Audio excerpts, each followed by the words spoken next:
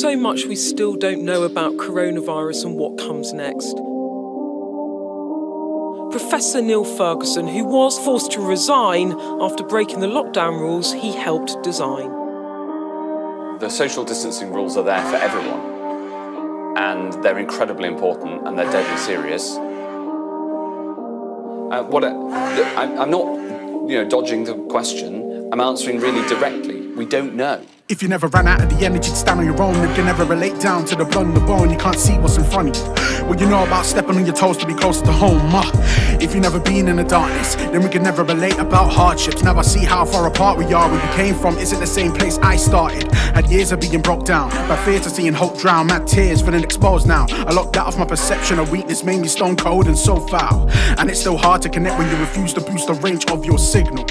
But I stay calm and reject, I'm too used to moving as an individual. I felt that way, but look at us now, times have changed. Just time chilling when a brethren going to get munches now out of your range. Socials I never had us further estranged, we're in similar positions now. Rich or poor, we're stuck with thoughts that drive us insane, so nobody cares if you're flexing, you're out of your range. I know how you feel, cause I feel the same, being trapped in this luxury cage. I'm grateful, but it fucks on my brain. How the fuck can I be so entitled to feel I have a right to complain? Haven't lost loved ones, been spared that pain, so many have it worse. There are kids in the grave, so I'll clap for the NHS, but tell me when the fuck nurses are gonna get their wages raised. My wife was very worried, particularly given my eyesight had seemed to, seemed to have been affected by the disease.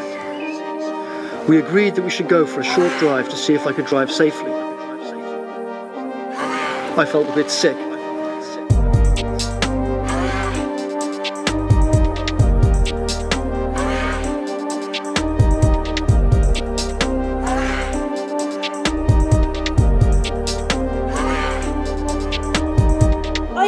expecting millions of people around the country to believe that Dominic Cummings needed to take a 60 mile round trip to a local beauty spot with his wife and child just to test his eyesight?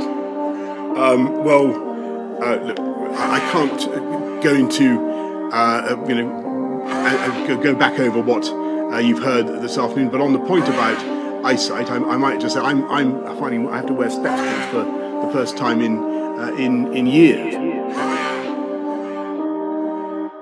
So we are saying don't go to work, go to work. Don't take public transport, go to work, don't go to work. Stay indoors. If you can work from home, go to work. Don't go to work.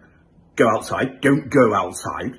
And, uh, and then we will or won't, uh, something or other.